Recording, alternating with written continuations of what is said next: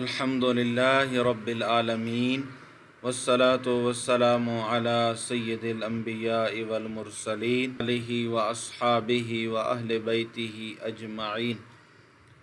اللہم صلی علی سیدنا ومرم علی سیدنا ومرم وبرم کہتے ہیں اور اللہ ہے نبی پاک صلی اللہ آپ کا صدقی آل اولاد، اصحاب اور خلفاء کا صدقہ تمام رحم اور کرم۔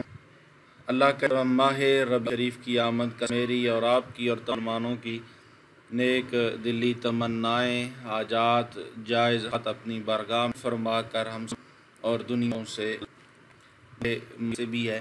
ربیع الاول سمل کو اور اس کے بھی نور شریف چاند شریف کا جائز اپنی بارگاہ فرما کر ہم اور دنیا سے سے بھی ہے۔ ربیع الاول سمل کو اور اس کے بھی نور شریف کا، چاند شریف کا اللہ آج تاریخ ہے، جو ہے اگلے مہینہ انتیس پر، آج تاریخ ہے، جو ہے اگلے مہینہ انتیس پر، شام اور ستر اول پہلی ربیع الاول جو ہے وہ ستائیس ستمبر کو ہوگی۔ اور اگر یہ کا تیس دنوں پر مشتمل ہوا تو پھر ستائیس ستمبر کو چاند نظر آئے گا۔ اور اٹھائیس ستمبر جو ہے وہ ربیع الاول شریف کی پہلی تاریخ ہوگی۔ تو یہ بات آپ نوٹ فرما لیں۔ تنے میں اور آپ کو اس بات ستمبر جو ہے وہ ربیع الاول شریف کی پہلی تاریخ ہوگی۔ تو یہ بات آپ نوٹ فرما لیں۔ تنے میں اور آپ کو اس بات کا کہ آج چاند طلوع ہو رہا ہے یا کل طلوع ہوگا۔ کا کہ آج چاند طلوع ہو رہا ہے یا کل طلوع ہوگا۔ اللہ رب العال نے چھوٹی چھوٹی چیزیں، برکتیں ہیں اور ان تمام جو سب سے بڑھ کر جو بڑی وہ یہ ہے کہ اللہ تعالیٰ نے ہمیں سلم آپ کی آل پر اور آپ صحابہ کرام السلام پڑھنے کا حکم فرمایا ہے۔ ہم نماز بھی پڑھتے ہیں تو وہاں پہ بھی درود ہے، نماز سے ہٹ کر بھی چلتے پھرتے ہیں تو وہاں پر بھی درود و سلام پڑھیں تو درود پاک والے پر اللہ کرم، یہ ہم نماز بھی پڑھتے ہیں تو وہاں پہ بھی درود ہے، نماز سے ہٹ کر بھی چلتے پھرتے ہیں تو وہاں پر بھی درود و سلام پڑھیں تو درود پاک والے پر اللہ کرم، یہ انسان وہی بتا ہے جو درود پاک برکتوں کو سمیٹ انسان وہی بتا ہے جو درود پاک برکتوں کو سمیٹ چکا ہے۔ درود السلام اللہ تعالیٰ کی ان بابرکت نعمتوں میں سے ہے جو اپنے دامن میں بے پناہ فیوز و برکات بیٹھے ہوئے ہیں۔ یہ ایسی لازوال دولت ہے کہ جسے مل جائے تو اس کے دین دنیا سنور جاتے ہیں۔ درود السلام محبوب خدا صلی اللہ علیہ وسلم کی تعریف اللہ تعالیٰ کی رحمت کا خزانہ گناہوں کا کفارہ، بلندی، درجات کا زینہ۔ کو سلام محبوب خدا صلی اللہ علیہ وسلم کی تعریف۔ اللہ تعالیٰ کی رحمت کا خزانہ۔ گناہوں کا کفارہ، بلندی، درجات کا زینہ۔ قرب خداوندی کا آئینہ، خیر و برکت کا سفینہ ہے۔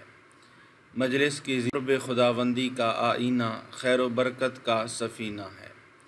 مجلس کی زینت تنگ دستی کا علاج۔ جنت میں لے جانے والے عمل، دل کی طہارت، بلاؤں کو دور کرنا، روح کی مسرت، روحانی پریشانیوں کا علاج، غربت و افلاس کا حل، دوزخ سے نجات کا ذریعہ اور شفاعت کی کنجی ہے۔ حدیث مبارکہ میں درود السلام کے بے شمار فضائل و برکات کا ذکر ملتا ہے۔ دوزخ سے نجات کا ذریعہ اور شفاعت کی کنجی ہے۔ حدیث مبارکہ میں درود السلام کے بے شمار فضائل و برکات کا ذکر ملتا ہے، جن میں سے میں عرض کر دوں۔ حضور نبی کریم صلی اللہ علیہ وسلم کی، جن میں سے میں عرض کر دوں۔ حضور نبی کریم صلی اللہ علیہ وسلم کی ذات گرامی سے والہانہ عقیدت اور محبت، یہ ایمان کا جزو ہے۔ بلکہ یوں کہا جائے تو بالکل بجا نہ ہوگا کہ کامل ایمان ہے۔ اس کے بغیر ایمان کی تکمیل نہیں ہوتی۔ درود و سلام پڑھنا محبت رسول صلی اللہ اللہ علیہ وسلم کی دلیل ہے۔ کثرت سے درود و سلام پڑھنے والے کو روز قیامت قرب رسول اللہ صلی اللہ علیہ وسلم کی نعمت سے فیضیاب کیا جائے گا۔ حضرت عبداللہ بن مسعود رضی اللہ تعالیٰ عنہ فرماتے ہیں، حضور اکرم صلی اللہ علیہ وسلم نے فرمایا کہ قیامت کے روز لوگوں میں سے میرے سب سے زیادہ قریب وہ ہوگا دنیا میں کثرت سے مجھ پر درود و سلام بیتا ہے۔ میرے بھائیوں، بہنوں، بیٹیوں، درود و سلام وہ پاکیزہ عمل ہے جو انسان کے تن اور من کو ہر قسم کی علائشوں کی علائشوں، کثافتوں اور آلودگیوں سے پاک اور صاف کر دیتا ہے۔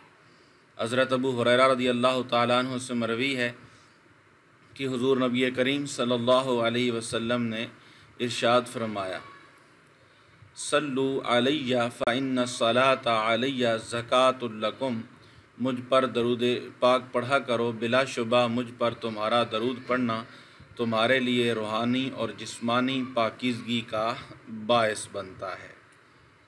تو آپ نے کافی سارا یہ درود پاک پر سن لیا ہے۔ اللہ تعالی ہمیں معنوں میں درود پاک نے کی توفیق عطا فرمائے۔ تو اینڈ پہ پھر جا کے میں انشاءاللہ درود و سلام، نزول رحمت خداوندی کا باعث ہے، اس پر ایک بات بھی آپ سے کروں گا۔ تو ماہ ربیع نور شریف کا چاند کا چاند جو ہے، وہ چھبیس یا ستائیس ستمبر کو نظر آئے گا۔ ہم نے کرنا کیا ہے، مغرب کی نماز جماعت کے ساتھ ادا کریں گے۔ اور اس کے بعد جب ہمیں رپورٹ مل جائے سوشل میڈیا کے ذریعے یا ہم خود چاند کو تلاش کریں گے، چاند نظر آ جائے۔ تو ہم نے وہیں بیٹھ کر یا کھڑے ہو کر یا چلتے پھرتے یا گھر میں یا مسجد میں، باوضو حالت میں ہم نے اکتالیس مرتبہ درود ابراہیمی، دونوں درود۔ یعنی کہ اللہم صلی علی محمد وعلی آل محمد کما صلیت علی ابراہیم وعلی آل انکا حمید مجید۔ یہ ایک مرتبہ ہو گیا۔ پھر اللہم بارک علی محمد وعلی آل محمد کما بارکت علی ابراہیم وعلی ابراہیم انکا حمید مجید۔ یہ دو مرتبہ ہو گیا۔ اس طرح آپ نے درود ابراہیمی اکتالیس مرتبہ فورٹی ون پڑھنا ہے۔ پڑھ کر اللہ کریم کی حضور آپ جس مقصد کے لیے دعا کریں گے، اللہ تعالیٰ کرم نہ کرم نوازی فرما دیں گے۔ بس اتنا سا وظیفہ تھا۔ آگے پیچھے جو کچھ بیان کیا، یہ درود السلام کی فضیلت ہے اور یہ سبق ہے، اسے آپ نے کبھی نہیں بولنا درود السلام کا ورد رحمت خداوندی کا خزانہ ہے۔ جو شخص خلوص دل سے درود السلام کا ورد کرے، تو اللہ تعالیٰ اس پر اپنی رحمتوں کی بارش نازل فرماتا ہے۔ یہ اللہ تعالیٰ کا کتنا بڑا احسان ہے کہ ہم اس کے محبوب کی صرف تھوڑی سی تعریف کرتے ہیں، تو وہ ہمیں اپنی رحمتوں کے خزانوں سے مالا مال کر دیتا ہے۔ حضرت ابو حریرہ رضی اللہ تعالیٰ عنہ سے مروی ہے۔ حضور نبی کریم صلی اللہ علیہ وآلہ وسلم نے ارشاد فرمایا ما صلی علیہ واحدتاً صلی اللہ علیہ عشرن جس نے مجھ پر ایک مرتبہ درود پڑھا، اللہ تعالیٰ اس پر دس رحمتیں نازل فرماتا ہے۔ تعالیٰ دونوں جہانوں میں میرا اور آپ کا حمی و ناصر ہو۔ اپنی دعاؤں میں یاد رکھیے گا۔ السلام علیکم ورحمۃ اللہ وبرکاتہ۔